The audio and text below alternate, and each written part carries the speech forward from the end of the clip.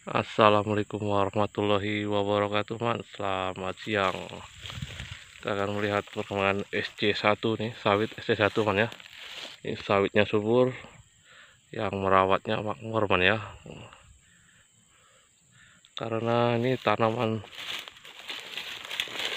Sayurannya subur-subur man ya. Jadi sawitnya bersih. Subur sawitnya nih Wah umur tanam 7 bulan nih. Ini tanaman sayurnya man ya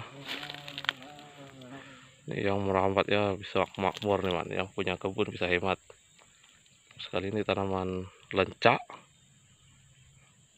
di sana ada jagung. Wah ini jagungnya untuk menyambut tahun baru. Siap panen. Pas. Mantap. Di sini sini ada ubi jalar. Ini pijalar mana ya. Ada pisang. Kalau pisang ini tanaman saya sendiri yang punya kebun. Kalau sayur penyayur nih yang merawat kebun. Jagung lencak jadi kebun kita tetap bersih. Kalau ada merawat ini man ya. Yang merawatnya juga jadi senang karena tanamannya juga subur-subur. Ini racun segala saya belikan ini ada cabai di sana itu baru disemprot nanti akan ditanam cabai mana ya baru disemai itu. Jadi kebun kita bersih. Ini ada terong. Mantap mantap uh. tuh ada penunggu kebunnya. Ini bocah tani sedang menjaga jagung. Jagungnya takut di kacau sama monyet mana tuh jagungnya udah mau siap panen. Dua minggu lagi panen nih isinya dua tiga. Untuk menyambut tahun baru. Mantap.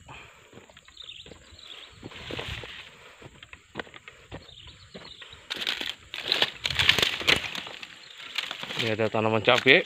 Wah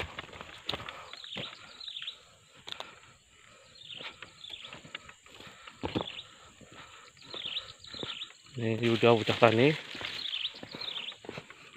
ini ada tomat tomato. Ini nanti tanam cabai man ya. Sebelah sana yang baru disemprot.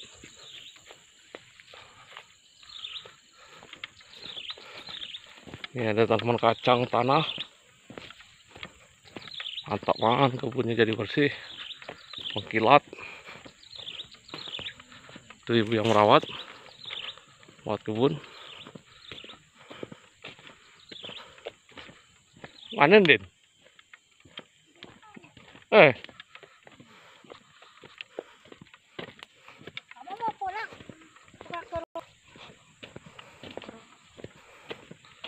Ini tanaman kacangnya guys.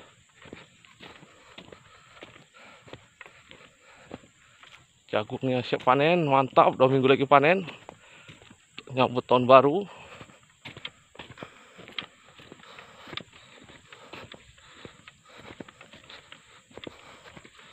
ini baru dibersihin dibakar-bakar tunggul mana mau ditanam cabai di sini nih ah ini bocah tani Den gimana Den?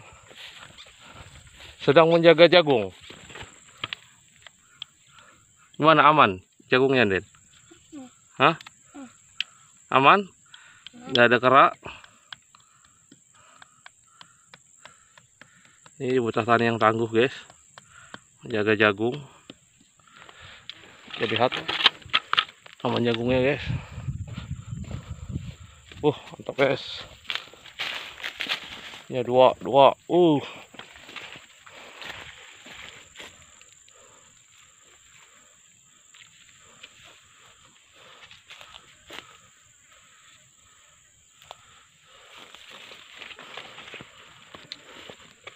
ini lahan yang ini luas satu hektar setengah mana ya. Tanamannya Sriwijaya satu. Sawitnya nih. Jadi saran saya kalau kita punya kebun sawit kalau ada yang merawat jangan lupa dikasih dimodalin ya.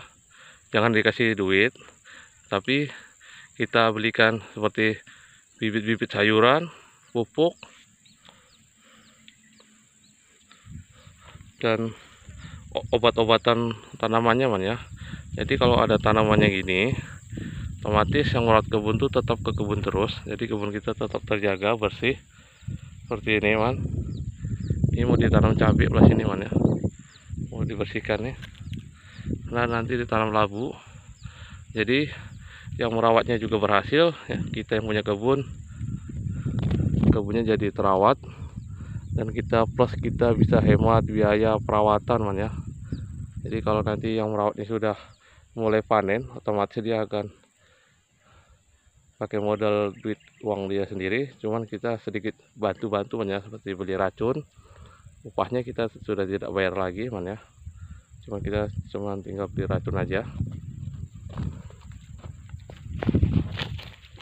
Kita jadi bersih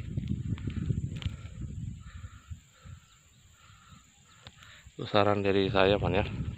Jadi supaya kebun kita tetap terawat jangan lupa yang rawat kebun tuh harus kita modalin. Cuma cuma sekali aja teman kita modalinya. Beli bibit-bibit sayuran pupuk dengan obat-obatannya supaya yang merawat juga ada hasil dan kebun kita juga tetap terawat man ya.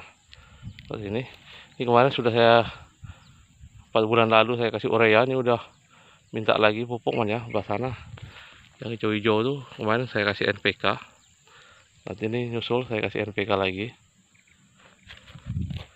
ini tanaman pendampingnya ada alpukat, nangka madu, nangka dak, jambu jamaica.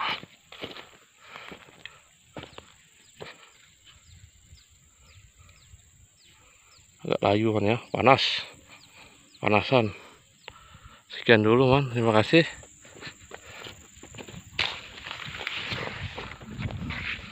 Assalamualaikum warahmatullahi wabarakatuh. Nih bocah tani sedang menjaga jagung.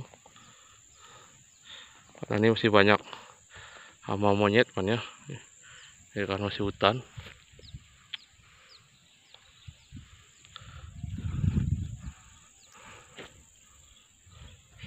mau tanam ubi lagi. Ini kelilingnya saya tanam pisang. Untuk mencegah hama man ya sekian dulu terima kasih. Wassalamualaikum warahmatullahi wabarakatuh